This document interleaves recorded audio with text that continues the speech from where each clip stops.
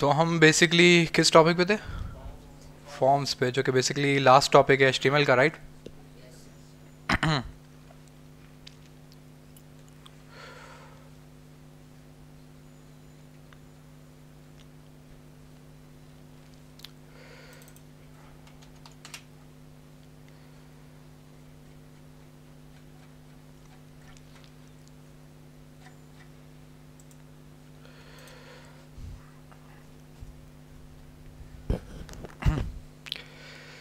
तो last class में हमने एक सिंपल सा काम किया था।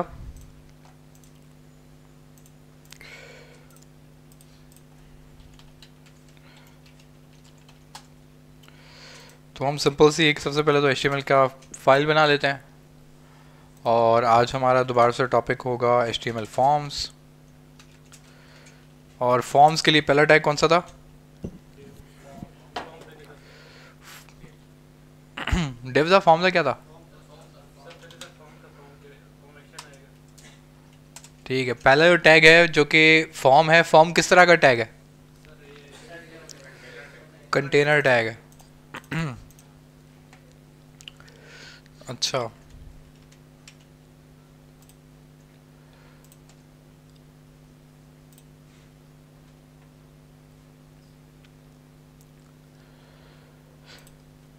सही, आप आप लास्ट क्लास में आए थे?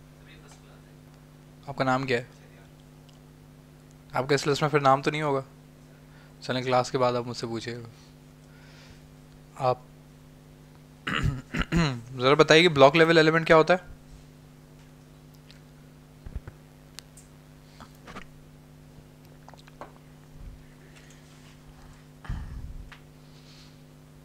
ब्लॉक लेवल कुछ भी याद है? क्या होता है?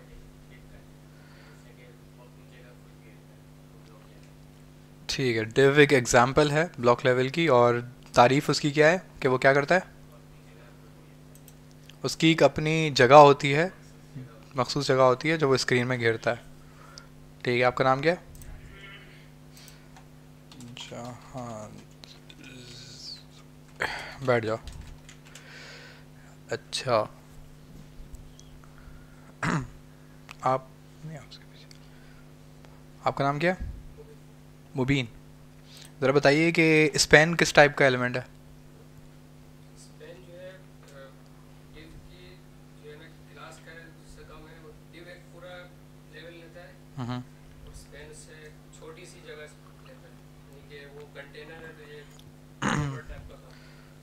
तो इसको एक नाम था ब्लॉक के इनलाइन एलिमेंट सही है मुबीन साहब।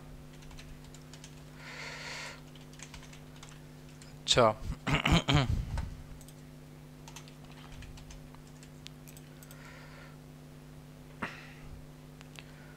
और कौन है आप में से? आप, आपका नाम क्या है? नहीं, आप, नाम क्या है आपका?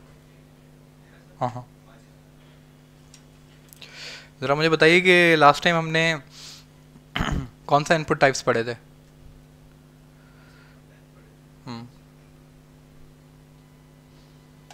इनपुट टैग किसका है? पहले ये तो बताओ।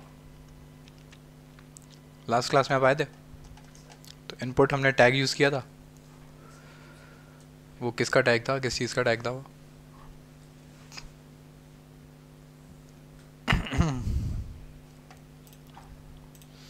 अब लास्ट क्लास में सो तो नहीं रहते नाम क्या है आपका?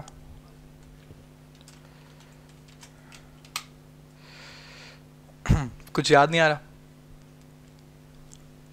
बैठ जाओ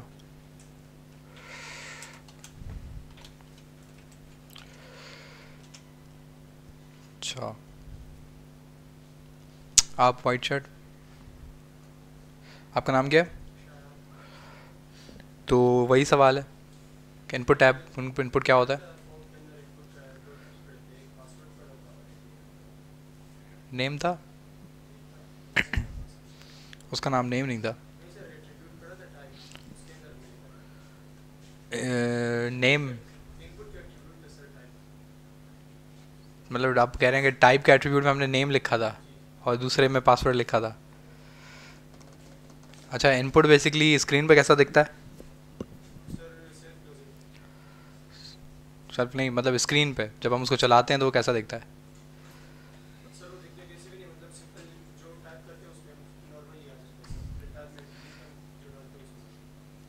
ठीक है। आपने एक गलत बात की, आपका नाम क्या कि हमने लास्ट टाइम पे दो टाइप्स पढ़ी थी, ये बात आपकी सही है। एक टेक्स्ट था और एक पासवर्ड था। नेम नहीं था। सही है तो स्टिल आपका जवाब अच्छा है। तो उनकी बात सही है। हमने इनपुट पढ़ा था, लेकिन इनपुट में हमने दो टाइप्स पढ़ी थी। एक इनपुट पढ़ा था और एक इनपुट टाइप पासवर्ड पढ़ा था। जो नेम का एट्रीब्यूट हमने दिया था, उसके लिए मैंने कुछ बताया था, किसी को याद है? ये किसके लिए होता है?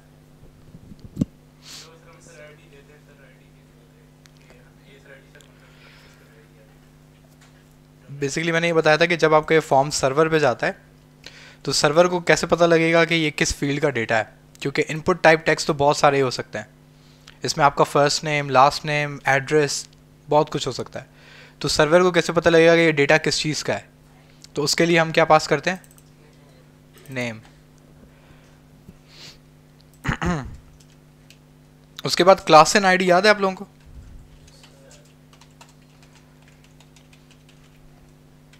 क्लास आईडी याद है? आपका नाम क्या है? दानिश, आपके यहाँ पे एंट्री तो नहीं है? नहीं है।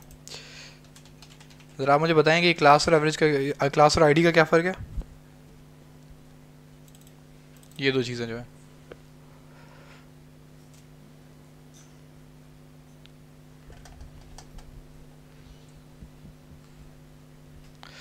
माइंड में नहीं आ रहा। तो माइंड में नहीं आ रहा तो आप प्रैक्टिस नहीं करें ना ब्रो बैठ जाओ। किसी को याद है क्लास आईडी क्या चीज़ है ये? बैठ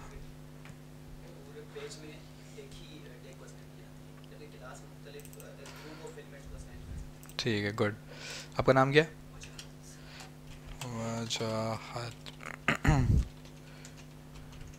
सही है तो इनकी बात बिल्कुल सही है कि क्लास और आईडी जो है बेसिकली आपके एलिमेंट्स को टारगेट करने के लिए यूज़ होता है, पहली चीज़। और टारगेट करता कौन है? सी एस एस तो टारगेट करने में भी दो फ़र्क है कि एक आईडी जो है, वो तो एक एलिमेंट की एक ही होगी, लेकिन क्लास जो है, वो एक ग्रुप ऑफ़ एलिमेंट की होगी। यानी कि बहुत सारे टैग्स हो सकते हैं, उन सबकी क्या हो सकती है? एक क्लास लेकिन आईडी हमेशा एक एलिमेंट की एक ही रहती है। ज़रा हम बुक में देखते हैं कि वो बुक हमारे बारे में क्या कहता है, जो हम टॉपिक पढ़ रहे हैं। तो उसने इधर कुछ ना ग्रुप्स बताए हैं या टाइप्स बताई हैं, जिस तरीक़ों से हम यूज़र से डेटा रिसीव करते हैं। बेसिकली वो आपको समझाने की कोशिश कर रहा है कि हम किस किस तरह से यूज़र से डेटा उठाते हैं रिसीव करते हैं। सबसे पहले उसने कहा है एडिंग टेक्स्ट अगर आपको यूज़र से कोई टेक्स्ट रिसीव करनी है तो हमारे पास इस कैटेगरी में तीन इनपुट टाइप्स हैं। पहली इनपुट टाइप टेक्स्ट इनपुट है, दूसरी पासवर्ड है और तीसरी टेक्स्ट एरिया है। ये थोड़ा सा टैग अलग होता है, इसको हम लास्ट में पढ़ते हैं कि ये क्या है और क्यों है। उसके बाद क्या है? मेकिंग चॉइसेस अगर आपको यूज़र से कोई चॉइस चीज़ करवानी है मल्टीपल चॉइस क्वेश्चंस हो जाते हैं या आपका कोई कैटेगरी सेलेक्ट करवानी होती है तो इस तरह की कोई जब आपको उनको चॉइसेस देनी है तो कह रहा है कि तीन तरह की चीज़ें हैं। एक तो रेडियो बटन है, एक चेक बॉक्सेस है और एक ड्रॉप डाउन बॉक्सेस है। उसके बाद है सबमिटिंग फॉर्म अब वो कह रहा है कि फॉर्म जब आपने फिल कर लिया, तब उसको सबमिट भी करना है। तो एक तो कह रहा है सबमिट बटन्स उसके बाद क्या कह रहा है? इमेज बटन्स और तीसरा क्या कह रहा है? फ़ाइल अपलोड तो तीन तरह की चीज़ें हो सकती हैं। यहाँ तो एक सिंपल सा बटन होगा जिसमें सबमिट लिखा हुआ होगा या कुछ होगा। दूसरा एक तस्वीर होगी जिस पर क्लिक करने पे वो क्या हो जाएगा? फॉर्म सबमिट हो जाएगा। और तीसरा क्या है? अपलोडिंग फ़ाइल जैसे कि कुछ वेबसाइट्स आपसे बोलती हैं कि अपनी सीवी अपलोड करो। सही, अपनी प्रोफ़ाइल पिक्चर अपलोड अपलोड करो। तो उस तरह से अपलोड इमेजेस का आपके पास ऑप्शन होना चाहिए।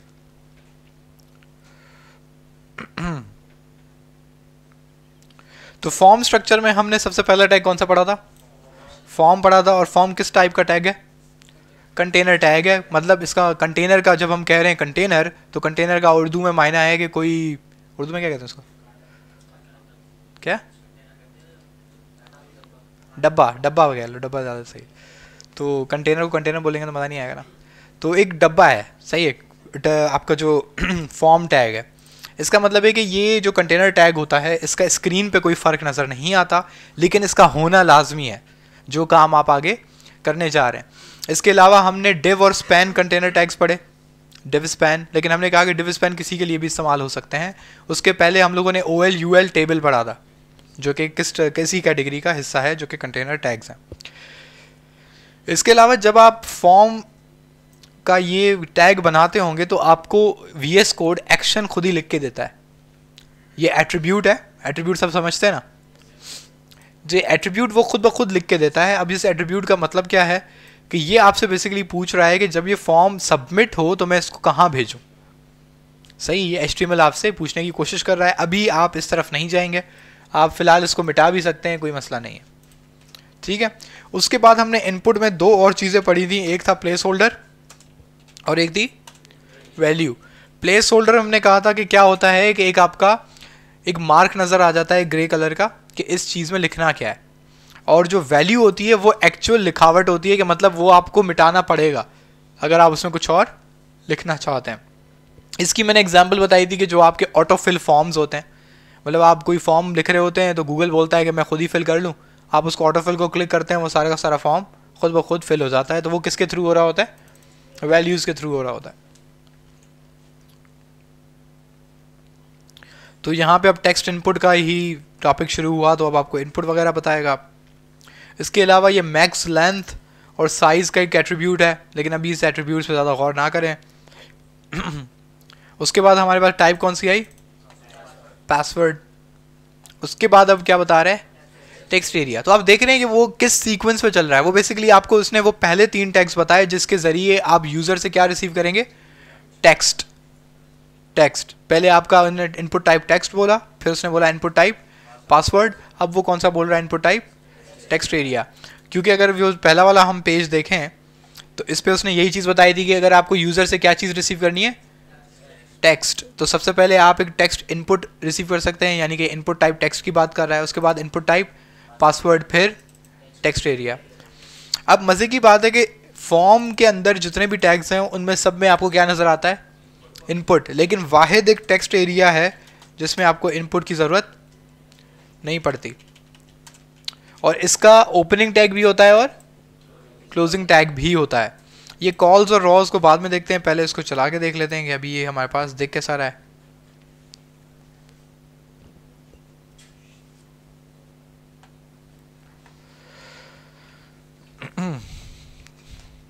तो इसके अंदर प्लेस ऑर्डर लिख लेते हैं ईमेल इसके अंदर प्लेस ऑर्डर लिख लेते हैं पासवर्ड ताकि हमें पता लगे कि ये किस चीज़ के बॉक्सेस हैं।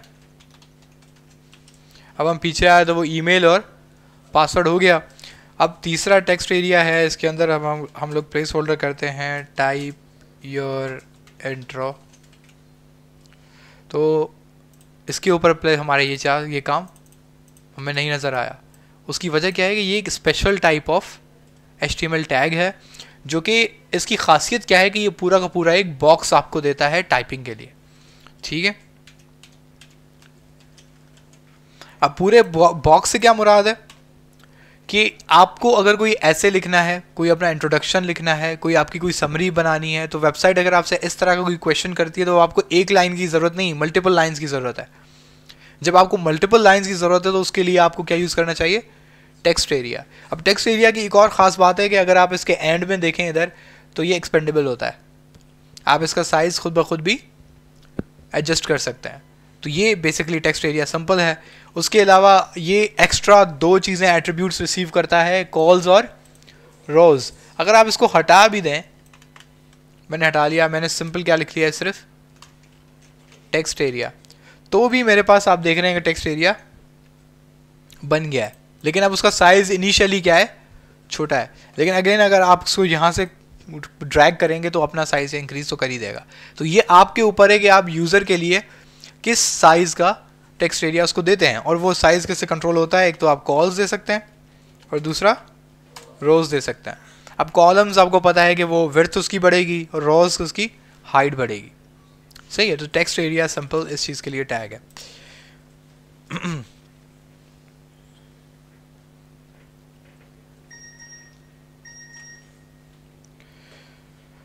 उसके बाद यहाँ पर एक हमारे पास टैग है।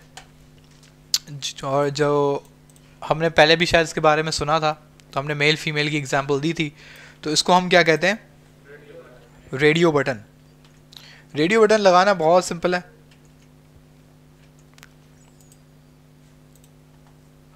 एक काम करते हैं, यहाँ पे एचआर देते हैं, ताकि हमें पता लगे कि हमने यहाँ पे शीट को ब्रेक किया है। एक ही ब्राउज़र यूज़ करते हैं। तो ये हमारा आ गया हॉरिजॉन्टल रूल ये सब आपको पता ही है। हॉरिजॉन्टल रूल के बाद मैं एक बना लेता हूँ क्या? डिव मैं चाहता हूँ नहीं, ये अलग अलग हो। और ऊपर मैं लिख लेता हूँ एच टू रेडियो बटन्स ताकि मुझे पता लगे मैं किस चीज़ पे काम कर रहा हूँ। तो अगर हम खोलेंगे तो यहाँ पे हमें साइड में हेडिंग दिख गई और ऊपर से एक हॉरिजॉन्टल रूल भी है। अब हम जब इस डिव पे जाएँगे तो इस डिव में आके मैं लिख लेता हूँ अच्छा मज़े की बात है कि अगर आप फॉर्म के बाहर भी इनपुट रखेंगे ना तो इनपुट वो चल जाता है। सही है, लेकिन स्टैंडर्ड वे क्या है कि इसको किसके अंदर होना चाहिए?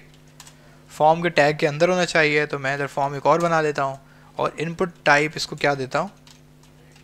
रेडियो तो यहाँ पे आप देख सकते हैं कि एक सर्कुलर एक बटन बन के आ चुका है। अगर मैं इसको क्लिक करता हूँ तो ये क्लिक भी हो जाता है। इसको पेज को रीस्टार्ट करेंगे। वैसे अभी हमारे पास दूसरा कोई बटन नहीं है, इस वजह से इसकी वैल्यू चेंज नहीं हो रही। इसमें एक अब एट्रीब्यूट आता है इनपुट टाइप रेडियो ये तो इनपुट टाइप टेक्स्ट में भी था इनपुट टाइप पासवर्ड में भी था, सब में था। अगर हम इसकी वैल्यू दें और इसकी वैल्यू हम रखें रॉक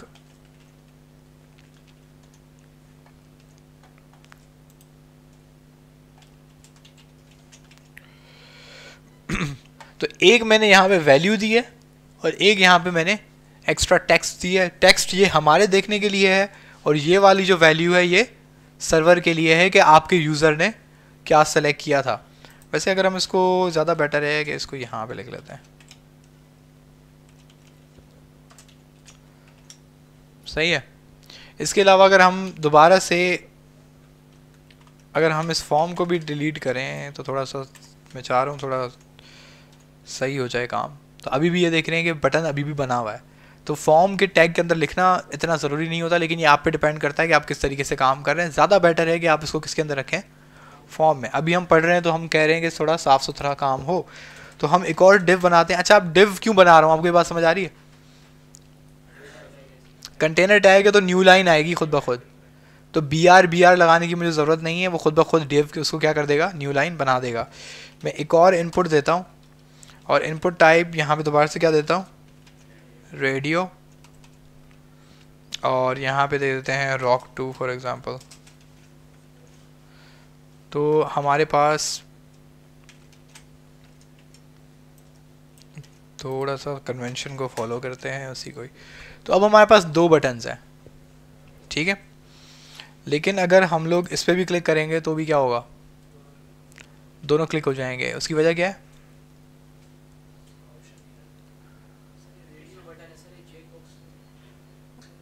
नहीं तो वैल्यू नहीं दी? अजीब सा काम है तो। वैल्यू में मैं क्या दूँगा? इसको रॉक टू देना पड़ेगा क्योंकि ये कौन सा है? रॉक टू है तो इसको मैं रॉक दे देता हूँ। अब मैं इसको पेज को रिस्टार्ट करता हूँ, लेकिन उसके बावजूद भी ये दोनों चेंज ही नहीं हो रहा। है जो नाम सर्वर पे जाएगा। तो वो नेम होता है। नेम में मैं लिखता हूँ जॉनरा और सेम नेम में देता हूँ इसको भी। क्या? जॉनरा तो अब ये क्या हो गया? एक वेरिएबल हो गया। अब उसकी वजह क्या है कि अब आप सर्वर को क्या बताने की कोशिश कर रहे हो कि मैं किस चीज़ का डेटा भेज रहा हूँ? जॉनरा का। अब जॉनरा का जो आप डेटा भेज रहे हैं, यहाँ पे आपने रेडियो बटन्स बेसिकली दो बनाए हुए हैं, लेकिन दोनों पे नेम क्या दिया हुआ है? सेम दिया हुआ है। तो इसका मतलब है कि अब आपका जो एच है, वो समझ गई है कि इन दोनों की वैल्यू इन दोनों में से कोई एक वैल्यू ही सर्वर पे जाएगी। और जिसका नेम क्या होगा? जॉनरा ठीक है? और वैल्यू क्या जाएगी? यहाँ से। ये जो वैल्यू होती है, ये आप यूज़र को दिखाने के लिए करते हो। यानी कि जो आपके वेबसाइट पे जो बंदा आया है, उसको दिखाने के लिए ये वैल्यू है। और जो सर्वर पे भेजने वाली वैल्यू है, वो कौन सी है? ये वाली। अब आप नोट कर रहे हैं कि यहाँ पे मैंने ये कैपिटल लिखा है, यहाँ पे स्मॉल लिखा है। क्योंकि नॉर्मली सर्वर पे जो हम डेटा भेजते हैं, वो किस फॉर्मेट में होता है? लोअर केस होता है या स्मॉल एबीसीडी में होता है। अब उसकी क्या वजह है? वो जब आप नोट जेएस वगैरह पे पहुँचेंगे तो आपको समझ आ जाएगी। तो यहाँ पे अगर आप कुछ भी लिखें, यहाँ पे आप इवन लिख दें ए बी सी डी और अगर आप पीछे आएँगे तो वो ए बी सी डी हो गया। लेकिन सर्वर पे फिर भी क्या जाएगा? रॉक ही जाएगा। ठीक है?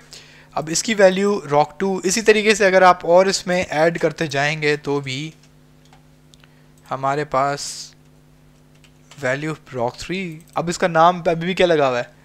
जॉनर है। तो अगर हम इसको क्लिक करेंगे तो ये ऊपर से हट जाएगा, क्योंकि एच को पता है कि ये किस टाइप का बटन है? रेडियो बटन है। और रेडियो बटन में से कोई एक ही सिलेक्शन पॉसिबल है। आप दो एक साथ क्लिक नहीं कर सकते। ये बात आपको समझ आ रही है? इसी तरीके से एक सिंपल सा होता है, जैसे हमारे पास होता है। हम कहते हैं,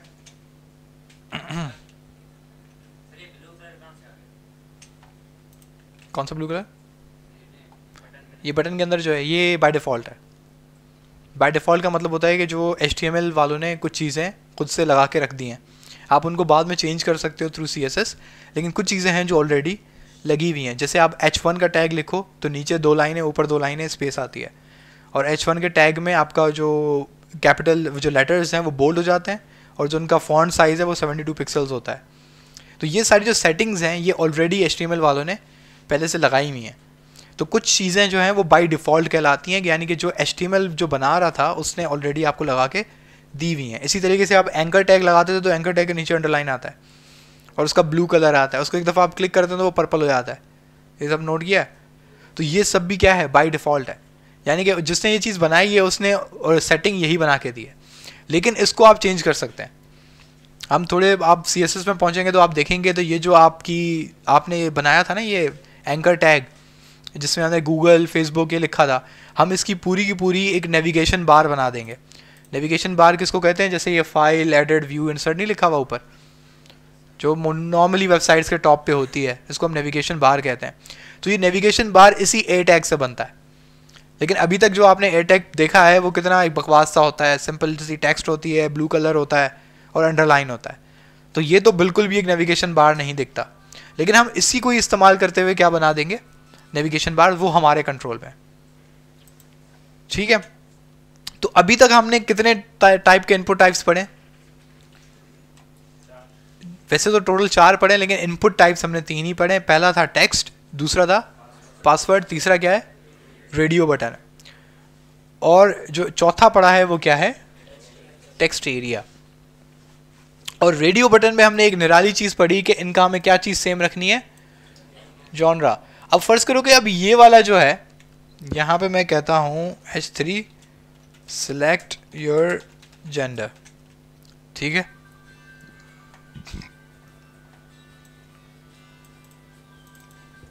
यहाँ पे हम नेम में लिख लेते हैं क्या?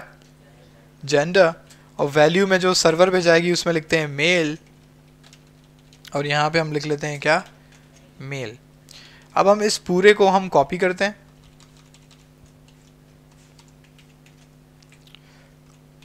और यहाँ पे हम लिख लेते हैं क्या? फीमेल अब जब हम आगे पेज अपना देखेंगे तो ये कुछ वैसा ही डिज़ाइन है जो नॉर्मली आपको वेबसाइट्स वगैरह पे दिखता है। सही है, ऊपर लिखा हुआ है हेडिंग सेलेक्ट यू जेंडर और नीचे लिखा हुआ है मेल और फीमेल अब मैं फीमेल पर क्लिक करूँगा तो फीमेल सेलेक्ट होगा मेल पे क्लिक करूँगा तो मेल सेलेक्ट होगा, उसकी वजह क्या है कि दोनों का नेम सेम है। अगर हम इसमें जेंडर टू कर देते हैं मतलब बदल देते हैं इसको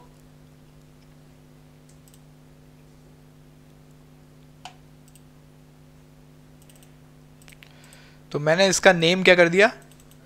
जेंडर टू कर दिया। अब जब मैं इस पर क्लिक करता हूँ तो ये दोनों क्लिक हो जाएँगे। तो ये कभी गलती नहीं कीजिएगा। इसका नेम हमेशा सेम ही रहना चाहिए। अब आपके पास एक एक वैल्यू है। कौन से पॉइंट्स यहाँ पे? ये, अब ये अलग सिलेक्शन है। ये फ़र्ज़ करो हो सकता है। ये हमारे पास एच थ्री हो सकता है सिलेक्ट ये हो सकता है सिलेक्ट योर म्यूज़िक टाइप तो ये एक अलग क्वेश्चन है। ये एक अलग क्वेश्चन है, ये उसके आंसर्स हैं। ये एक अलग क्वेश्चन है, ये उसके आंसर्स हैं। तो वो बिल्कुल अलग चीज़ है, ये बिल्कुल अलग चीज़ है। इस वजह से आप देख सकते हैं कि मैंने ऊपर इनका नेम क्या दिया था? चैनरा और इनका मैंने नेम क्या दिया है? जेंडर क्योंकि वो बिल्कुल अलग क्वेश्चन है और ये अलग क्वेश्चन है। इनका ऊपर वालों से कोई ताल्लुक नहीं है। तो वो समझेगा कि ये सेम ही है सम सेम आ रहा है सारा। अब अगर आप इस मेल वाले को आप लिख देंगे जॉनरा अब अगर आप इस मेल को क्लिक करेंगे तो वो ऊपर से उठ के नीचे आ जाएगा। सही है? अब वो मेल फीमेल दोनों सेलेक्ट क्यों हो गए? क्योंकि एक जानरा है नेम और दूसरा जेंडर है। तो उसको लग रहा है कि ये दोनों अलग अलग क्वेश्चंस का हिस्सा है। कौन सा? हाँ बिल्कुल मसला होगा। सही है। यहाँ पे आप जो चीज़ मेंशन करेंगे ना सर्वर को वही जाएगी। ठीक है? तो ये बड़ा कैटेस्ट्रॉफिक मिस्टेक थी कि कोई फीमेल सेलेक्ट कर रहा है तो भी सर्वर को क्या लग रहा है कि क्या आया है? मिला है। पता लगा किसी लड़, नाम किसी लड़की का है नीचे जेंडर मेल लिखा हुआ है। तो वाकई बड़ी ख़तरनाक मिस्टेक है। तो खैर तो रेडियो बटन कंपैरेटिवली बहुत सिंपल चीज़ है। बस इसमें आपको याद क्या रखना है कि एक एक्स्ट्रा चीज़ है। इनपुट टाइप टेक्स्ट में कुछ ज़्यादा चीज़ नहीं याद रखनी थी, बस इनपुट टाइप क्या है? टेक्स्ट पासवर्ड में कोई ज़्यादा चीज़ नहीं रखनी थी इनपुट टाइप पासवर्ड लेकिन यहाँ पे जो रेडियो बटन है, इसमें सिर्फ़ एक चीज़ एक्स्ट्रा है कि आपको नेम याद रखना है। कि नेम सेम होगा जिन जिन रेडियो बटन्स का तो वो एक क्वेश्चन का पार्ट है। उनमें से फिर एक ही चीज़ सिलेक्ट होगी। आपने नेम बदला तो अब वो क्या समझेगा ये? दूसरे क्वेश्चन का पार्ट है। तो आप एक ही पेज पे दस क्वेश्चन पूछें, पंद्रह क्वेश्चन पूछें तो ज़ाहिर सी बात है उनके आंसर्स भी अलग अलग होंगे। तो उन सबके सिर्फ़ क्या चेंज होना चाहिए? नेम आप उनका नेम चेंज रखेंगे, लेकिन एक ही क्वेश्चन के चार आंसर्स हैं, पाँच आंसर्स हैं, उनका आप सारे, सबका सबका नेम सेम रखोगे। बस सिंपल से इतना सा फ़र्क है। ठीक है? तो सिर्फ़ इस चीज़ को करते हुए आप इस सारी चीज़ को हैंडल कर सकते हैं। अच्छा यहाँ पे एक और चीज़ है। आप एक चीज़ नोट कर रहे हैं कि जब आप वेबसाइट्स पे क्लिक करते हैं तो मेल पे भी अगर मैं क्लिक करता हूँ तो ये चीज़ क्लिक हो जाती है। ये चीज़ आपने कभी नोट की है?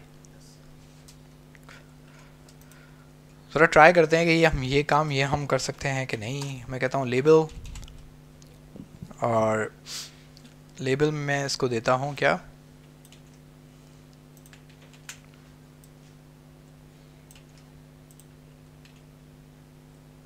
बल्कि इसको इधर ही रखते हैं, साफ़ सुथरा रहेगा।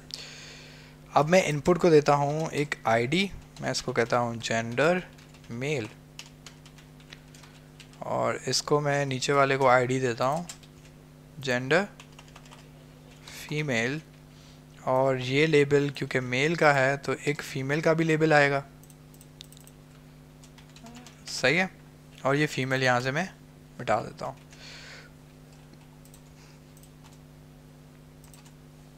यहाँ पे मैं जेंडर मेल लिख लेता हूँ, यहाँ पे मैं जेंडर फीमेल लिख लेता हूँ।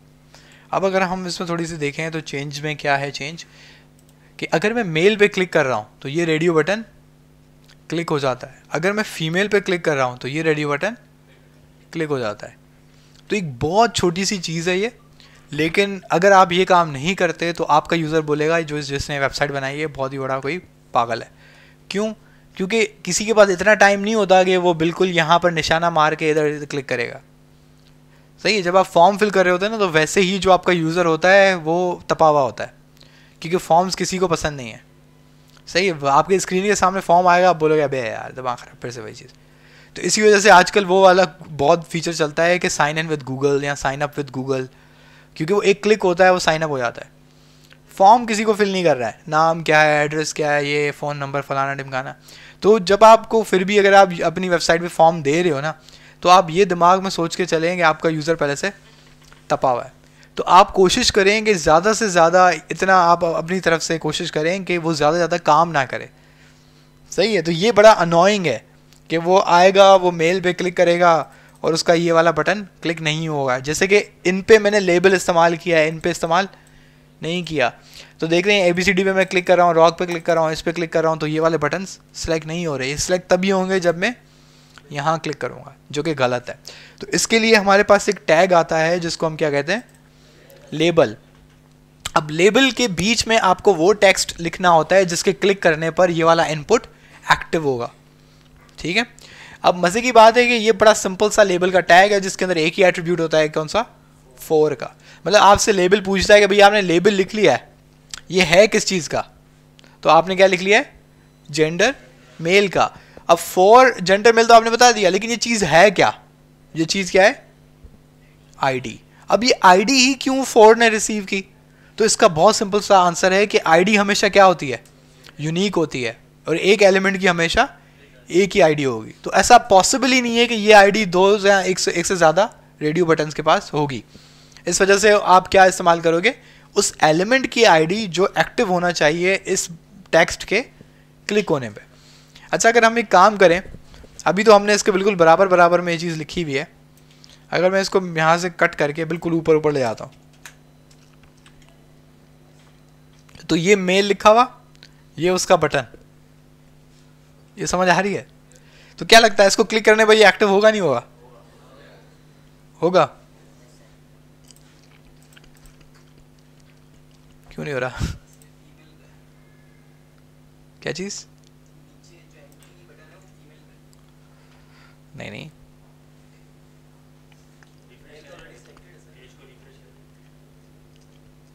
इसको फिर से देखते ना इसकी आईडी क्या है? एक मिनट एक मिनट। इसको हम दोबारा से ट्राई करते हैं। ये मेल सर ये फीमेल और ये मेल ठीक है, मैं कह रहा हूँ कि इसका मैं ये कट करता हूँ। मैं कोड में कोई चेंज नहीं कर रहा। मैं इसको सबसे ऊपर ले आता हूँ। अब मैं इसको क्लिक करूँगा तो काम करेगा या नहीं करेगा?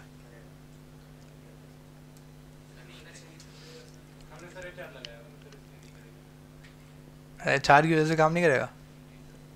मतलब ये बॉर्डर हो गया।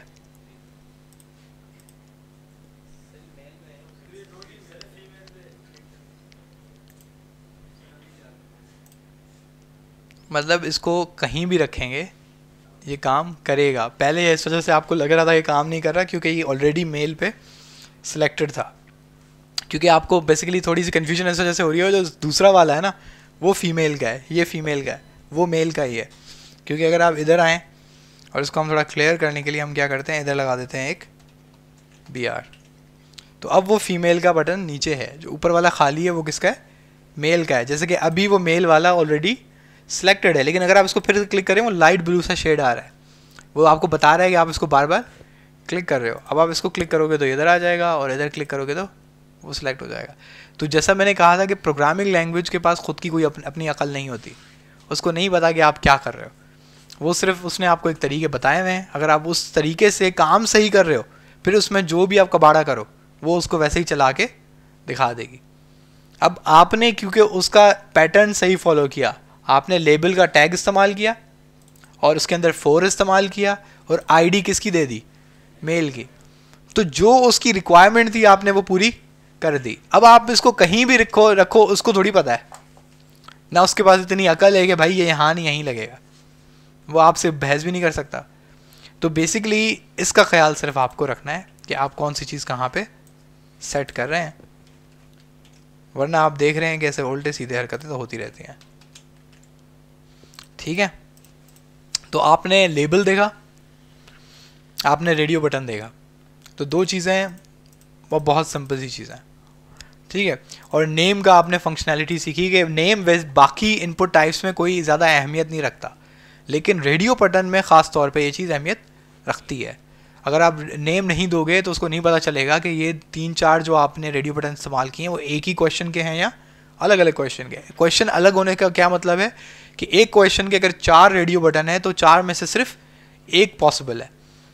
और अगर दो क्वेश्चन हैं तो दोनों के तो अपने आंसर्स ही अलग अलग होंगे तो लाजमी सी बात है, वो सेम नहीं रहते। तो इस तरीके से हमने क्या पढ़ा? रेडियो बटन जो कि किसकी कैटेगरी में से था? सिलेक्शन या चॉइसेस की कैटेगरी में था। तो रेडियो बटन के बाद जो अगर कोई चीज़ है, वो क्या है? इनपुट टाइप चेक बॉक्स तो हम एक काम करते हैं कि यहाँ पे हम एच आर दबा देते हैं। और एच आर के बाद हम दोबारा से एक एच बनाते हैं और लिखते हैं चेक चेक बॉक्सेस अब चेक बॉक्सेस का क्या सिनारी हो सकता है कि हम यहाँ पे इनपुट टाइप चेक बॉक्स हम बनाएँगे? और इसका हो सकता है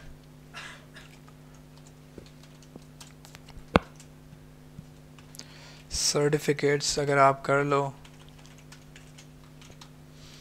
इनपुट टाइप हम यहाँ पे कर लेते हैं एचटीएमएल। तो हम ज़रा आप जाके देखते हैं कि हमारा क्या फ़र्क आया। तो नीचे नीचे नज़र आ रहा है सबको ये? काम करते हैं, इसको ऊपर ले आते हैं। ये रहा। तो एक सिंपल सा एक स्क्वायर बन के आ गया और उसके आगे क्या लिखा हुआ है? एच अगर हम इसको चेक करते हैं तो ये चेक हो जाएगा, दोबारा क्लिक करते हैं चेक हट जाएगा, जो कि एक टिपिकल चेक बॉक्स जिस तरीके से वर्कआउट करता है।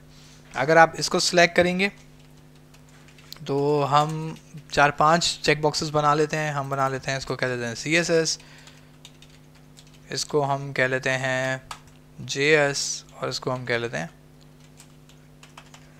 नोड जे एस तो अब आपके पास एक, दो, तीन, चार चार चेक बॉक्सेस हैं।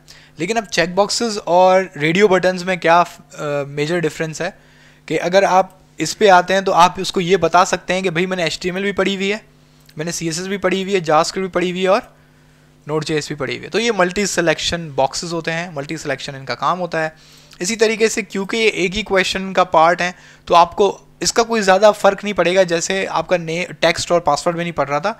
लेकिन आपको करना ये चाहिए कि इनके सबके नेम्स सेम होने चाहिए। सही है? और सर्वर पे वैल्यू क्या जाएगी? यहाँ से। अब कोई एच को चेक करेगा तो उसके पास क्या पहुंचेगा? एच लेकिन स्मॉल अब सी में उसके पास क्या जाएगा? अब यूज़र हालाँकि क्या सिलेक्ट कर रहा है, लेकिन सर्वर के पास क्या जाएगा? सी एस एस थ्री तो ये जे एस और ये फाइनली नोड जे अब अगेन इसमें वही वाला मसला है कि इसमें क्या नहीं है। लेबल नहीं है। लेबल नहीं है तो मैं नोड पे क्लिक कर रहा हूँ तो उस पर कोई फ़र्क नहीं पड़ रहा है। इसका मतलब जब तक मैं इस डब्बे में क्लिक नहीं करता, ये काम नहीं करेगा। तो अब इसके लिए हम सिंपली थोड़ी जल्दी जल्दी में एक दो के बना लेते हैं। अच्छा। इसको ज़ाहिर सी बात है वैल्यू होगा भाई। ठीक है। अब इसको हम लोग एक आईडी दे देते हैं। इस पहले वाले को हमने आईडी आइटम आईडी नहीं देनी भाई। हम इसको आईडी देते हैं। आईडी देते हैं क्या? HTML और दूसरे वाले को हम एक और आईडी देते हैं, इसको हम तीसरी आईडी देते हैं, इसको हम चौथी आईडी देते हैं।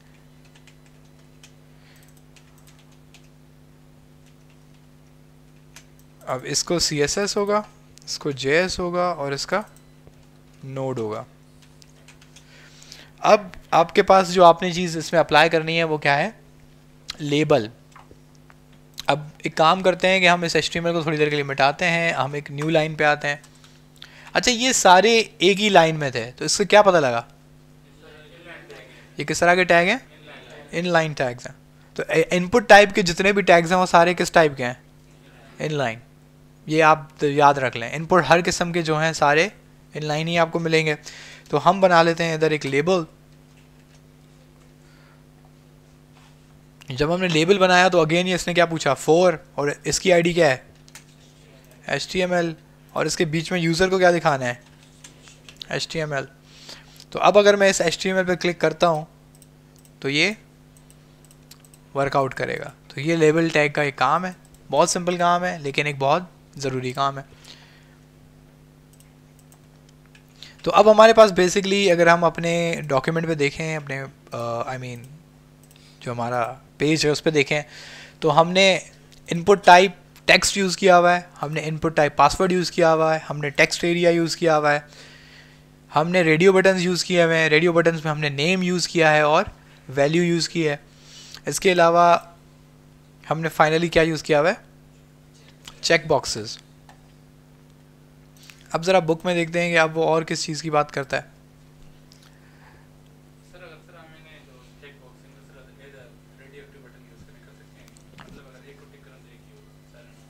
नहीं, वो उसके लिए रेडियो बटन है। ये चेक बॉक्सेस का मेन कॉन्सेप्ट यही है कि आप उसको चेक अनचेक दोनों कर सकते हैं और मल्टीपल सिलेक्शन है।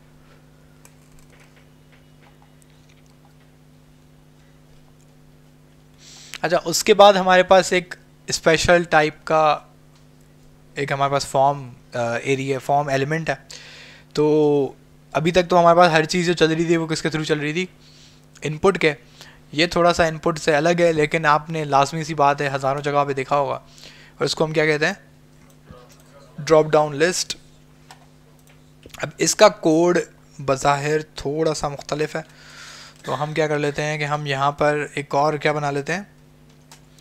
एच आर बना लेते हैं। एच आर बनाने के बाद हम लोग दोबारा से एच थ्री बनाते हैं। एच थ्री में हम लिखते हैं। हम क्या बनाने जा रहे हैं?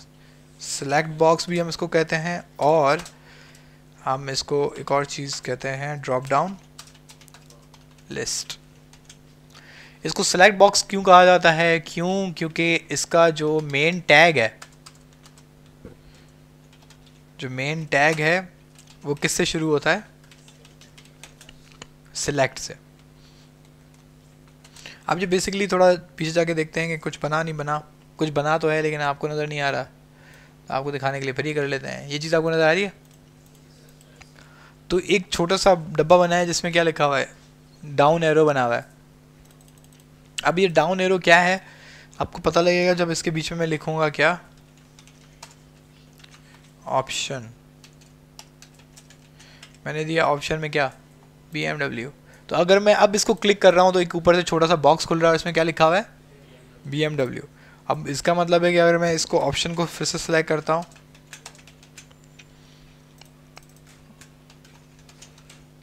तो हम एक कुछ गाड़ियों के नाम लिख लेते हैं।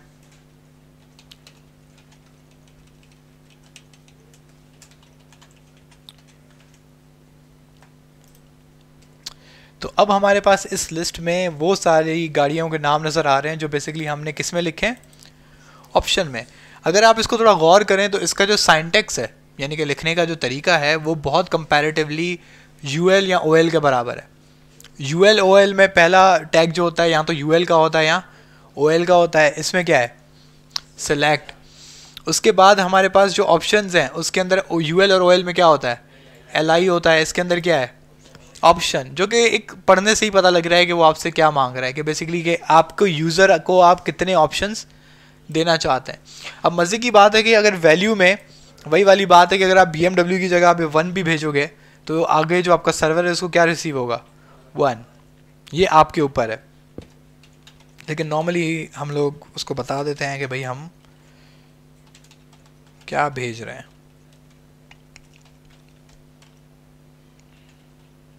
क्योंकि अगर आपको जैसे यहाँ पे आपके पास बहुत सारे फॉर्म्स होते हैं जिसमें आपसे वो पूछता है, आपका सिटी कौन सा है? तो जब आप कंट्री सेलेक्ट कर लेते हैं पूरी लिस्ट में से तो आपका जो सिटी वाले ऑप्शन हैं वो बदल के आपके मुल्क के हो जाते हैं। तो जब आप सिटी में से जब सिलेक्शन कर रहे होते हैं तो अगर आप कभी उसका कोड खोल के देखें तो सर्वर को जो डेटा जा रहा होता है, उसके अंदर पूरा सिटी का नाम नहीं होता नॉर्मली उसका शॉर्ट फॉर्म होता है. जैसे लाहौर का है एल एच आर सही, कराची का है के एच आई इस्लामाबाद का है आई एस एल सही तो इस तरीके से जो शॉर्ट फॉर्म्स हैं ना, वो नॉर्मली वो यूज़ कर रहे होते हैं सर्वर सिर्फ़ उनको पहचान रहा होता है. तो ये आपके ऊपर है कि आप सर्वर पे क्या भेजते हो और वो किसके थ्रू जाता है? वैल्यू के थ्रू जाता है. एक चीज़ आपको प्रोग्रामिंग में बहुत दिखेगी। आगे चल के जब आप जावास्क्रिप्ट पढ़ेंगे तो उसमें भी आपको बहुत दिखेगी जिससे हम कहते हैं, एक तो नेम वैल्यू इसको हम कहते हैं नेम वैल्यू पेयर क्या कहते हैं? आपकी जो जावास्क्रिप्ट है प्रोग्रामिंग लैंग्वेज है, उसमें ये बहुत यूज़ होते हैं। ये नेम वैल्यू वैल्यू पेयर क्या होता है कि एक आपके पास एक चीज़ का नाम है, उसके अगेंस्ट में उसकी क्या है? वैल्यू बहुत सिंपल तो इस चीज़ का यूजेज आपको बहुत मिलेगी, क्योंकि आपका जो डेटाबेस में डेटा सेव हो रहा होता है, वो भी आपकी वैल्यू सेव कर रहा होता है और उसकी आइडेंटिफिकेशन किससे होती है? उसके नेम से. जब आप डेटाबेस को कहते हैं कि इस नाम का डेटा मुझे ला के दो तो वो बेसिकली चेक करता है कि इस नाम के अगेंस्ट में क्या सेव हुआ हुआ है. यही काम इधर एच में भी होता है कि इसमें दो एट्रीब्यूट हैं, एक तो नेम है और दूसरा वैल्यू है। तो नेम आपको ये बताता है कि कौन सी चीज़ है? वैल्यू बताता है कि उसका आंसर क्या है। अब इसमें फ़र्क क्या है कि यहाँ पे कार्स अब इन सब का जो नाम होगा वो क्या होगा? सेम होगा। क्योंकि ये सब क्या है? गाड़ियाँ हैं। सबका नेम कार्स नेम कार्स लेकिन उन सब की वैल्यूज़ अलग होंगी। क्योंकि अब वैल्यूज़ में आप जो यूज़र सेलेक्ट करेगा, वही जाएगी।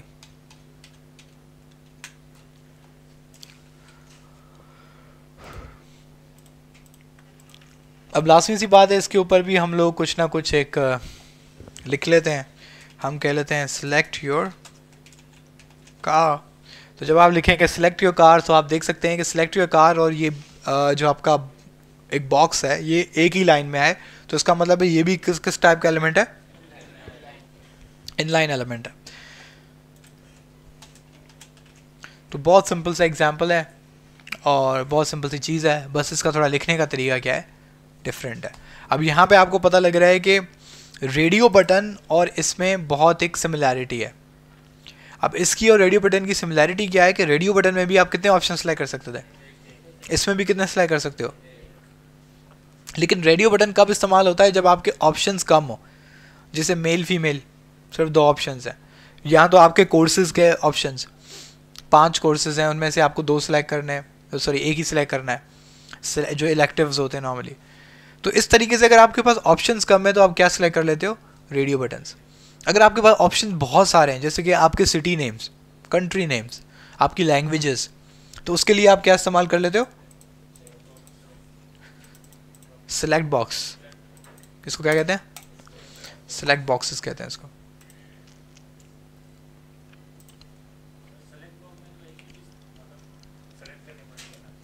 हाँ। ये सिलेक्ट बॉक्स ही वाला। इसमें एक ही चीज़ आप सिलेक्ट कर लेते हो।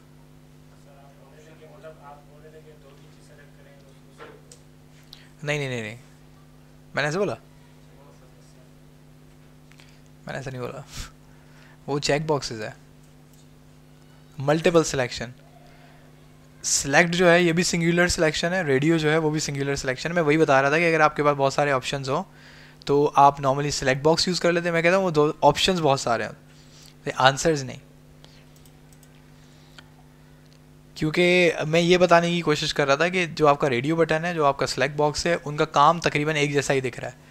कि रेडियो बटन भी एक सेलेक्ट हो सकता है और आपका जो सेलेक्ट बॉक्स है, उसका भी एक ही ऑप्शन सेलेक्ट हो सकता है।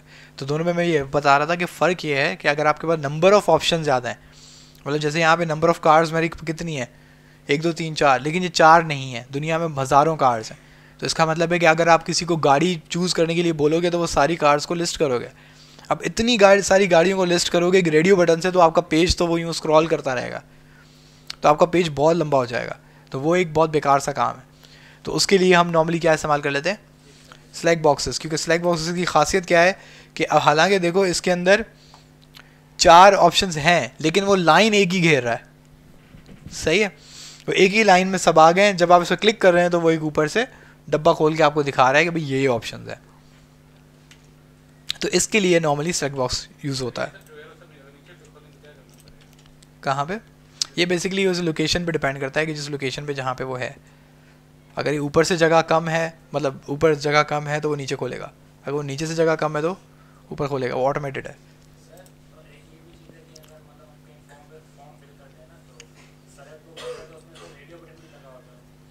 हाँ आप ऑप्शंस के अंदर कुछ भी रख सकते हैं। आप ऑप्शंस के अंदर इमेजेस भी रख सकते हैं। आपको छोटी छोटी इमेजेस भी नज़र आ सकती हैं। वो सी एस एस का पार्ट है। किसमें? हाँ रेडियो बटन को बॉक्स में रखना हो। ये बहुत अच्छा सवाल है।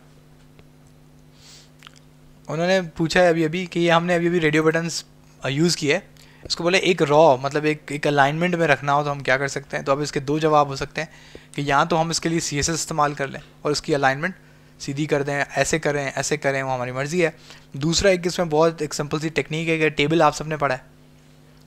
सही है? तो टेबल्स आप सबने पढ़े हैं तो आप टेबल्स के थ्रू भी इनकी अलाइनमेंट सेट कर सकते हैं। अगर आपको फ़र्ज़ करोगे एक रॉ में तीन आपको रेडियो बटन्स देने हैं, लेकिन उस जैसी तीन रॉज हैं मतलब पहली रॉ में भी तीन रेडियो दूसरी रॉ में भी तीन और तीसरी रॉ में भी तीन रेडियो बटन्स तो आप ये काम किसके थ्रू भी कर सकते हैं? टेबल इसका मतलब है कि पहले आप क्या बनाएँगे? टेबल बनाएँगे, फिर उस टेबल का जो आपके पास टीडी होता है, उस टीडी के अंदर क्या बना देंगे? रेडियो बटन तो आपका वो बिल्कुल एक परफेक्ट अलाइनमेंट में आ जाता है. आई थिंक ये आपका नेक्स्ट असाइनमेंट भी यही है. ये हमने दे दिया था ना लास्ट टाइम अब उसके बाद आई थिंक ये कितने बच गए हैं?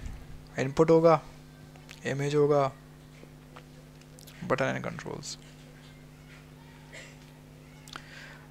अब उसके बाद हमारे पास आया है क्या? फ़ाइल इनपुट टाइप अच्छा यहाँ पे मज़े की चीज़ आप देखेंगे, आप सिर्फ़ एक लफ्ज़ चेंज कर रहे हैं इनपुट टाइप टाइप में से बदल के आपने रेडियो किया रेडियो बन गया. चेकबॉक्स किया, आपका चेकबॉक्स बन गया. इनपुट टाइप टेक्स्ट किया टेक्स्ट बन गया पासवर्ड किया पासवर्ड बन गया तो सारा काम आपके लिए हुआ हुआ है. आप सिर्फ़ एक क्या कर रहे हो? वर्ड को चेंज कर रहे हो। उसी तरीके से यहाँ पर जो इन्होंने आपको एग्ज़ाम्पल दी हुई है, वो एग्ज़ाम्पल अब किस चीज़ की है?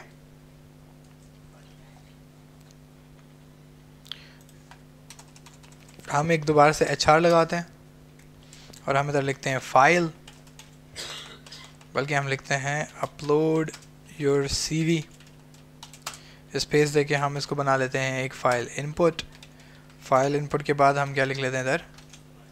इनपुट टाइप फ़ाइल अब इनपुट टाइप फ़ाइल अगर आप लिखेंगे और हम देखेंगे कि हमारा क्या बना तो हम नीचे अगर आप जाके देखेंगे तो हमारे पास एक ब्राउज़ का बटन बन गया है। और ये ब्राउज़ का बटन हमेशा तभी बनता है जब आपको कोई फ़ाइल अपलोड करनी हो। जब आप कोई फ़ाइल सेलेक्ट कर लेते हैं तो उसका यहाँ पे नेम शो हो जाता है। लेकिन इसके साथ ही आपके पास क्या होता है, यहाँ पे एक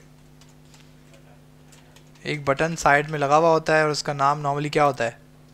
अपलोड बटन होता है। ठीक है? तो इस तरीके से सिंपल आपका अपलोड फ़ाइल का बटन होता है। लेकिन अपलोड फ़ाइल के बटन आजकल बड़े खूबसूरत खूबसूरत आते हैं। सही है बॉक्सेस होते हैं अजीब अजीब सन में कारनामे हुए हुए होते हैं। तो वो आपका नॉर्मली किसके थ्रू होता है? सी एस एस के थ्रू होता है। आप सी एस एस से बिल्कुल इनकी आप डिज़ाइन जो हैं वो कंट्रोल कर सकते हैं। बस आपको पता होना चाहिए कि इनपुट टाइप फ़ाइल करता क्या है। उसके बाद अगर हम लोग इसकी दूसरी पे जाएँ तो अब ये फाइनली क्या है? सबमिट बटन अब सबमिट बटन जो है, मैं यहाँ पे अगर बटन लगाता हूँ, फ़र्ज़ करेंगे मैं इधर लिखता हूँ एचआर अगर मैं इधर लिखता हूँ बटन और उस पर मैं लिख देता हूँ क्या? सबमिट तो नीचे मुझे क्या दिखेगा? एक बटन जिसका नाम क्या है? सबमिट बहुत प्रॉपर बेहतरीन. लेकिन एक काम करते हैं कि मैं इसी में एक बी आर लगाता हूँ, इसमें एक मैं बी आर लगाता हूँ, और मैं अब लिखता हूँ इनपुट टाइप टाइप की जगह क्या लिख लेता हूँ? सबमिट अगर मैंने टाइप सबमिट लिखा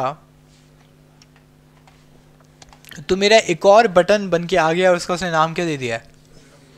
सबमिट क्वेरी अगर मैं इधर इसकी वैल्यू में चेंज करके लिख लेता हूँ सबमिट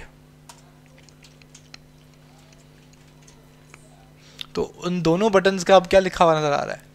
सबमिट सबमिट एक मैंने बनाया है इनपुट के ज़रिए, एक बनाया है बटन के टैग के ज़रिए। दोनों में कोई डिफरेंस नहीं है। दोनों में कोई फ़र्क नहीं है। लेकिन अगर आप इसको, इस नीचे वाले सबमिट को क्लिक करेंगे तो आपको एक बात नोट होगी, आपका पेज क्या हो रहा है? रिफ्रेश हो रहा है रीलोड हो रहा है। लेकिन जो ऊपर वाला सबमिट बटन है, उसको उनके दबा रहे हैं तो क्या हो रहा है? तो भी रिफ्रेश हो रहा है। ऐसा क्यों हो रहा है? क्योंकि आपका जो फॉर्म है बेसिकली उसको क्या लग रहा है? वो सबमिट करना है। तो इससे एक बात समझ आती है कि आप बटन टाइप सबमिट लिखें तो भी एक ही बात है। आप इनपुट टाइप सबमिट लिखें तो भी एक ही बात है। लेकिन जो स्टैंडर्ड है, जो तरीका आपको इस्तेमाल करना चाहिए, वो कौन सा है? इनपुट टाइप सबमिट क्योंकि बटन जो है, ये तो कहीं भी लग सकता है। बटन का मतलब होता है किसी भी तरह का बटन किसी भी चीज़ का बटन लेकिन ये वाला एक स्पेशल बटन है, जो सिर्फ़ किसके लिए है?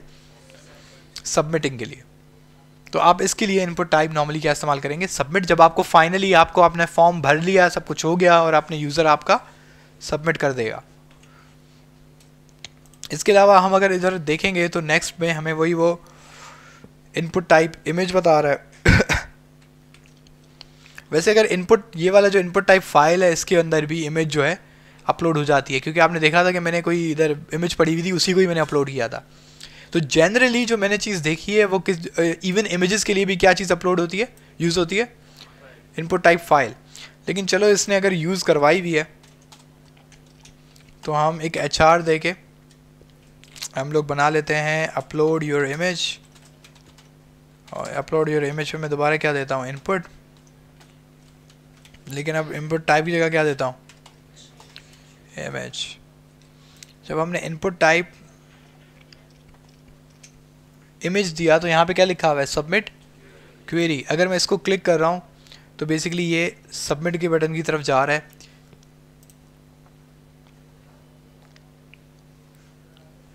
क्योंकि ये बेसिकली इसको बता रहा है कि आपको इमेज का बटन ये एक तरह का इसने बटन दिया हुआ है बेसिकली वो फॉर्म ख़त्म हो गया है।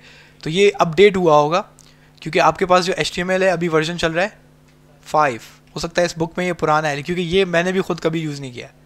इनपुट टाइप इमेज हालाँकि हम जो यूज़ करते हैं, वो हम क्या यूज़ करते हैं? इनपुट टाइप फ़ाइल भले इमेज हो म्यूज़िक फ़ाइल हो, आपके डॉक्यूमेंट हो, किसी भी तरह की चीज़ हो तो हम नॉर्मली क्या यूज़ कर लेते हैं? इनपुट टाइप फ़ाइल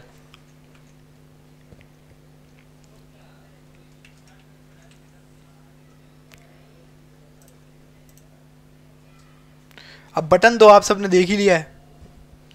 बटन एक सिंपल बटन होता है। आप उसके अंदर बीच में जो चीज़ लिखेंगे बटन के बीच में, वही नज़र आता है। इवन अगर आप बटन के बीच में अगर आप कोई तस्वीर लगा लेंगे तो भी उसके ऊपर वो बीच में बटन के बीच में क्या नज़र आता है? तस्वीर। क्योंकि आपने देखा है कि कुछ बटन्स होते हैं उसके, जैसे कि हमने एग्ज़ाम्पल दिया था। कि वो एक आँख बनी हुई होती है, उस पर क्लिक करते हैं तो वो यहाँ से पासवर्ड जो है शो होना शुरू हो जाता है। तो बेसिकली वो क्या होता है, वो एक छोटा सा बटन ही होता है। लेकिन उस बटन के बीच में उन्होंने क्या लिखा हुआ होता है? एक छोटी सी आँख बनाई हुई होती है। तो बटन के बीच में आप छोटा सा आइकन लगा दें, आप कोई टेक्स्ट लिख लें, वो आपकी मर्ज़ी है। और ये काम क्यों आते हैं? क्योंकि अगर आपको कोई काम करवाना है, कोई सर्टेन चीज़, जैसे कोई चीज़ अपलोड करनी है, आपको नेक्स्ट पेज पे जाना है तो कुछ इस तरीके से जो भी आपका यूज़ केस है, उसके लिए आप क्या लगा सकते हो? बटन बटन हर जगह पे यूज़ होता है। अभी बटन ज़्यादा आपको मज़े का नहीं लगेगा। उसकी वजह क्या है कि बटन का आप कोई फंक्शनैलिटी नहीं बना रहे। HTML में उसकी फंक्शनैलिटी नहीं बनती, बस बटन लग जाता है। तो इसका ज़्यादा यूज़ वहाँ पर है जब हम लोग क्या पढ़ेंगे? जावा और या सी एस ज़्यादा, क्योंकि जावा का ही फ़ंक्शन बनता है जो बेसिकली बटन के पीछे चल रहा होता है। कोई बटन क्लिक होता है तो उसके पीछे एक जावा का फ़ंक्शन चलता है, जिससे कोई ना कोई काम होता है। इसके बगैर ये ज़्यादातर किसी काम के नहीं है। लेकिन फिर भी आपको बताना चाहिए था कि ये होना चाहिए। अच्छा इन्होंने एक और इनपुट टाइप दिया हुआ है। कौन सा? हिडन बेसिकली अगर आप इनपुट टाइप हिडन करेंगे तो वो इनपुट आपको दिखता ही नहीं है। सही है? अब आप पूछ सकते हो कि भाई, ये फिर इसका फ़ायदा क्या है? अगर उसमें कुछ है ही नहीं तो वो फ़ायदा क्या है? तो कुछ आपके पास डेटा होता है जो आपको जावा स्क्रिप्ट से एच में पास करना होता है। तो उसके लिए ये लोग क्या यूज़ कर लेते हैं इनपुट टाइप हिडन यूज़र को उनको वो डेटा नहीं दिखाना होता। उस डेटा को सिर्फ़ कहीं ना कहीं उनको भेजना होता है। तो इस वजह से वो क्या कर लेते हैं कि टेम्प्ररी एक बना लेते हैं इनपुट टाइप हिडन और इसके अंदर वो डेटा पड़ा हुआ होता है। आपको पता है कि आपका जो फेसबुक का साइन अप फॉर्म होता है या साइन इन फॉर्म होता है, उसके अंदर भी बहुत सारे इनपुट टाइप हिडन्स होते हैं। जिसमें से वो कुछ चीज़ें खुद ब खुद वो जो फेसबुक है वो ऑलरेडी फिलअप करके बैठा हुआ होता है। तो बेसिकली वो फिलअप कौन करता है? उसकी जावा स्क्रिप्ट और वो बाकी बाद में ताकि वो बाद में आगे अगर सबमिट हो जाए तो वो सारा डेटा भी उनके साथ चला जाता है। तो कुछ इस तरीके से इसकी फंक्शनैलिटी होती है, लेकिन ये आपको ज़्यादा यूज़ नहीं होगा। फ़िलहाल इसके लिए आप इसको जाने दें। ये लेबल का फॉर्म तो हमने पहले से ही सॉरी टैग हमने पहले से ही पढ़ लिया और उसका हमने यूज़ केस भी देख लिया। मज़े की बात है कि इन्होंने भी मेल फीमेल वाली एग्ज़ाम्पल पे ही ये लेबल लगाया है।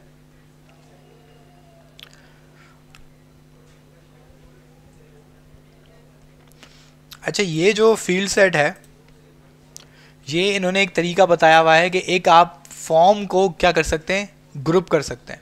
अगर आप, ये आप खुद ट्राई कीजिएगा। सही है, बहुत ईजी है। आपको सिर्फ़ क्या करना है कि जितने आपका फॉर्म के टैग्स हैं, उसके ऊपर आपने कौन सा टैग यूज़ कर लेना है? फ़ील्ड सेट ये ज़्यादा कुछ नहीं करता, ये उनके ऊपर एक बॉर्डर बना देता है, जिससे पता चले कि ये सारे क्या हैं? फॉर्म का पार्ट है। और उसके ऊपर एक आपके पास और टैग यूज़ हो रहा है, उसका नाम क्या है? लेजेंड और ये लेजेंड वो टाइटल होगा जो बेसिकली इन बॉर्डर के ऊपर ऊपर आ रहा होगा। बहुत सिंपल है, लेकिन इसको आप खुद ट्राई करें तो ज़्यादा बेटर है। उसके बाद जो मैं आपको दिखाना चाह रहा था बेसिकली वो ये है इनपुट टाइप डेट जो कि ज़्यादा इंटरेस्टिंग है as compare to this one अगर आप यहाँ पे करेंगे इनपुट टाइप डेट तो आपको बड़े मज़े की एक चीज़ नज़र आएगी। और वो क्या चीज़ है? एक डेट सेलेक्टर है। अब इसको क्लिक करेंगे तो पूरा का पूरा क्या खुल के आ जाता है? कैलेंडर अब इसकी यूज़ कहाँ कहाँ हो सकता है कि किसी का आपने बर्थडे पूछनी है? डेट ऑफ़ बर्थ पूछनी है आपने। या आपने कोई फ़र्ज़ करें कि रिजर्वेशन वेबसाइट है होटल रिजर्वेशन है तो आप उसे पूछ सकते हैं कि भाई कब से कब तक का आपको रूम चाहिए। तो इस तरह जहाँ भी डेट का रिसीव करने का फंक्शनैलिटी चाहिए होगी, आप क्या यूज़ कर सकते हैं? डेट टाइप डेट एक और होता है इसके साथ। उसको हम क्या कहते हैं? डेट टाइम ये एक सिंपल तरह का वैसे तो इनपुट टाइप बॉक्स है, लेकिन यह इस्तेमाल किसके लिए होता है नॉर्मली आपको अगर टाइम टाइप करना हो तो उसके लिए है, लेकिन ज़्यादा इसका तरह कोई काम है नहीं। एक और यार होता है, मैं भूल रहा हूँ। ईमेल ईमेल ईमेल ईमेल कौन सा इनपुट टाइप ईमेल अब जो इनपुट टाइप ईमेल देखेंगे तो ये बिल्कुल किसके थ्रू दिख रहा है? इनपुट टाइप टेक्स्ट कोई इसमें फ़र्क नहीं है, बिल्कुल सेम चीज़ है। लेकिन अगर हम लोग इसको कर दें रिक्वायर्ड और हम करें इनपुट तो हमसे क्या पूछ रहा है? Please fill out this field तो अभी ये फॉर्म सबमिट नहीं कर रहा। वो सबमिट क्यों नहीं कर रहा? कह रहा है कि पहले इसमें कुछ ना कुछ टाइप करो। तो ये चीज़ किससे हुई? मैंने एक लफ्ज़ लिख दिया सिर्फ़ इस टैग के बराबर में और वो क्या है? रिक्वायर्ड जिस जिस टैग पे इनपुट के टैग पे आप क्या लगा देते हैं? रिक्वायर्ड तो एचटीएमएल समझ जाता है कि जब तक इसमें कुछ ना कुछ फिल ना हो, तब ये फॉर्म सबमिट ना करो। और अब ये जो इनपुट टाइप ईमेल है टेक्स्ट के बिल्कुल बराबर है। ज़्यादा कोई फ़र्क नहीं है। लेकिन इसकी ख़ास बात यह है कि ये आपसे एक वैलिडेशन माँगता है। देखते हैं कि ये अभी करता है यानी चले, मैंने इसमें कुछ फिल कर दिया। सबमिट को क्लिक करता हूँ तो आपसे क्या पूछ रहा है? वो please enter an email address मतलब अब वो चेक कर रहा है। इनपुट टाइप टेक्स्ट तो आप इधर कुछ भी टाइप करेंगे, वो सेंड हो जाएगा। लेकिन अब ये चेक कर रहा है कि भाई आपने ईमेल लिखा है या नहीं लिखा? इवन ये आपके साइंटेक्स को भी चेक करता है। अगर आप इधर देखें, आप लिखें A B C dot Gmail dot com अब मैं एंटर दबा रहा हूँ तो भी ये क्या पूछ रहा है? Please enter an email address क्योंकि उसको समझ आ गई है कि ये भी एक ईमेल नहीं है। अभी दिखने में लग रहा है कि ये कोई कौन सी बड़ी बात है। सही है, ये तो कोई बड़ी बात नहीं है। इससे कौन सा इन्होंने बड़ा काम कर दिया है? कि बस वो यही तो चेक करेंगे इसमें अंदर एक एट द रेट हो। सही है, एक डॉट कॉम हो, या आखिर में डॉट करके डॉट नेट हो डॉट ऑर्ग हो डॉट पी के हो। मतलब किसी ना किसी वेबसाइट का आखिरी एंडिंग हो और एक क्या होना चाहिए? एट द रेट आपको लग रहा होगा सिंपल यही चीज़ है। तो कभी घर जाके सर्च कीजिएगा कि how to validate an email box email input box in JavaScript या इन पाइथन जो आपको लैंग्वेज पसंद आए। तो आपको दिखेगा कि कोई इतना लंबा लिखा हुआ कोई कोड होगा जो ये सारा काम कर रहा होगा। उसकी वजह क्या है कि मसला क्या है? क्या आप ये सोचें कि वो, आपको ये नहीं चेक करना कि इसके अंदर एट द रेट है, नहीं है। अब अगर आप ये चेक करेंगे कि इसके अंदर सिर्फ़ एट द रेट होना चाहिए तो उसके मुताबिक तो फिर ये भी सही हो जाएगा। आपको पता लग रहा है कि ये ईमेल नहीं है, लेकिन आपने उसको क्या बोला था कि उसके अंदर क्या होना चाहिए? वो तो है। तो मतलब आपका तो फ़ंक्शन फेल हो गया। फिर आप उसको बोलोगे, अरे नहीं नहीं, यहाँ नहीं होना चाहिए। जब Gmail Hotmail Yahoo dot com आ जाए, उससे पहले होना चाहिए। लेकिन अगर ये वाला काम है तो फिर यहाँ पे जी के बाद क्या हो सकता है? डॉट नेट हो सकता है। आपके फेल फिर से आप फेल हो गए। सही है। फिर अगर आप उसको कहते हो कि अच्छा चलो एट द रेट हो, ठीक है, उसके कुछ एक वर्ड के बाद क्या आना चाहिए? डॉट अब कुछ वर्ड के बाद डॉट आने का मतलब है, अगर उसने जी के बाद डॉट लगा लिया तो भी ये वाला फ़ंक्शन आपका फेल हो जाता है। ठीक है? आप बोलते हो, चलो, आपने कोई फनकारी करी, आपने कोई काम सही कर दिया और वो डॉट नेट वाले, ये वाला तरीका आप सही हो गया। फ़र्ज़ करो उसने ये भेज दिया। अब भी आपका फ़ंक्शन हो गया। फेल अब आप उसको कहते हो, नहीं, आगे एक वर्ड होना चाहिए। तो आगे एक वर्ड आ गया। ठीक है? इसमें उसने फिर कोई फनकारी कर दी। इसमें फ़र्ज़ करो स्पेस आ गया। तो भी आपका फ़ंक्शन फेल तो ये जो आपको लग रहा है कि ये रिक्वायर्ड करने से और टाइप ईमेल लिखने से कोई बड़ी कोई सिस्टम नहीं हुआ है तो ये बेसिकली इंटरव्यू क्वेश्चन है। आपको पता है कि आपको वो लैपटॉप आगे दे देंगे, बोलेंगे कि भाई एक जावा जो लैंग्वेज क्योंकि आपको पता है कि जो नॉर्मली जो अच्छी कंपनी होती है, जो बड़ी कंपनी होती है ना, उसको इससे कोई फ़र्क नहीं पड़ता कि आप कौन सी लैंग्वेज पढ़ के आए हो। ठीक है? वो आपके सामने कंप्यूटर रखेंगे, बोलेंगे, भाई, तुम्हें कौन सी लैंग्वेज सबसे अच्छी आती है? आप बोलेंगे, मैंने जावास्क्रिप्ट सबसे पहले पढ़ी थी, मुझे सबसे अच्छी वही आती है। सही है तो वो बोलेंगे, ठीक है, मसला नहीं है। वो बोलेंगे कि एक ईमेल वैलिडेशन फ़ंक्शन बना लो। अब ईमेल वैलिडेशन फ़ंक्शन क्या है कि हर सही ईमेल को वो यस करेगा और हर गलत ईमेल को वो फॉल्स करेगा। तो ट्रू एंड फॉल्स आपको बताना है। अब हर सही एक बहुत ख़तरनाक लफ्ज़ है, क्योंकि दुनिया में ईमेल के हज़ारों पैटर्न्स हैं। हज़ारों तरीके का कार हैं। लेकिन आपको सब वो एक फ़ंक्शन के अंदर बनाने और वो आपको टाइम देंगे पंद्रह मिनट। तो नॉर्मली जो एक बड़ी अच्छी कंपनी होती है, वो प्रोग्रामिंग का इंटरव्यू कुछ इस तरीके से लेती है। सही है? इसके अलावा एक और चीज़ होती है कि आपकी सॉर्टिंग अब आपके सामने A B C D X Y G कुछ ऐसे करके मिक्सअप होकर लिखा हुआ है। अब आपको वो बोलेंगे कि एक फ़ंक्शन बनाओ, जब हम उसमें ये सारा डालें, ये सारी चीज़ें तो ए पहले बी बाद में सी जो आपका बेसिकली सॉर्टिंग फ़ंक्शन कहलाता है। बात समझ रहे हैं? या फिर एक स्टूडेंट्स है उनके पूरे नाम है, वो आपको बोल रहे हैं कि इनके नाम में जो अल्फ़ाबेट हैं, उसके ऑर्डर से इस सबको एक तरीके से एक तरतीब दे दो। यानी कि ए नाम वाले पहले बी नाम वाले बाद में, लेकिन अब उसमें भी एक मसला है। अगर एक बंदा है, उसके नाम के आगे दो ए आते हैं, सही है, किसी भी वजह से, अब उसके आगे दो ए आते हैं अब दूसरा वाला बंदा है, उसके भी नाम के आगे दो ए आते हैं। अब आप पहले किसको रखोगे? तीसरी वैल्यू चेक करोगे। लेकिन अब उसकी प्रॉब्लम क्या है?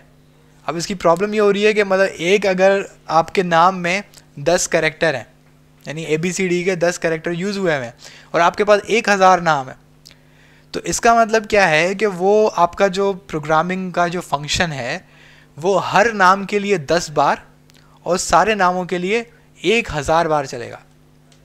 आप समझ रहे क्या हो रहा है? यानी कि टोटल वो कितनी बार चलेगा? एक हज़ार दस नहीं चलेगा। वो दस हज़ार बार चलेगा। सही है? तो कितने नाम है सिर्फ़? हज़ार। लेकिन उसके लिए आपका फ़ंक्शन कितनी बार चल रहा है? दस हज़ार। उसकी वजह क्या है कि वो अब हर करेक्टर को जाके चेक करेगा। फिर अब उस पर ये बात आती है कि आप कोड तो आप बना लोगे, लेकिन वो परफॉर्मेंस वाइज वो कोड कैसा है? ऐसा तो नहीं है कि वो एक घंटा ले रहा है प्रोसेसिंग करने में, दो घंटे ले रहा है प्रोसेसिंग करने में। क्योंकि प्रोग्रामिंग में एक ही चीज़ करने के मैंने आपको बताया था कि बहुत सारे तरीके होते हैं। लेकिन इन द एंड आपके पास जो थोड़ा बहुत एक्सपीरियंस से भी काम आता है, कि जैसे जैसे आपका थोड़ा एक्सपीरियंस बनता है, इसी तरीके से आपका काम आगे बढ़ता है। नॉर्मली दूसरी इंडस्ट्रीज़ में इंटर्नशिप की कोई ज़्यादा ज़रूरत नहीं होती। मतलब कोई भी नहीं चाहता कि मैं इंटर्नी बनूँ, वो डायरेक्ट कोई इंजीनियरिंग करके फ़ील्ड निकलता है, वो बोलता है, मैं डायरेक्ट डायरेक्ट क्या लग जाऊँ? इंजीनियर लग जाऊँ बाकी फील्डों में ये काम हो जाता है। क्योंकि वो लोग नॉर्मली इतना पढ़ के आ चुके होते हैं कि वो काम संभाल लेते हैं। लेकिन ये प्रोग्रामिंग ऐसी फ़ील्ड है कि आपको कोई भी पढ़ा रहा है, कोई भी कोई काम कर रहा है, या आप खुद से भी पढ़ रहे हैं तो आपको पहले कहाँ जाना चाहिए? इंटर्नशिप करने। क्योंकि इंटर्नशिप में आपके ऊपर लोड नहीं होता। आप एक हो ही जूनियर आप खुद बोल के आए हो कि मैं जूनियर हूँ। ठीक है तो आप अब क्या हो, एक स्टूडेंट हो वहाँ पे। तो आपके सामने जो लोग काम कर रहे हैं, उनको आप काम करते हुए देखते हैं। जब उनके काम करने के तरीक़ेकार देखते हैं तो आपको समझ आती है कि काम होता कैसे है। आई थिंक आपको काफ़ी टाइम हो गया, लेकिन क्लास थोड़ी लेट हो गई थी।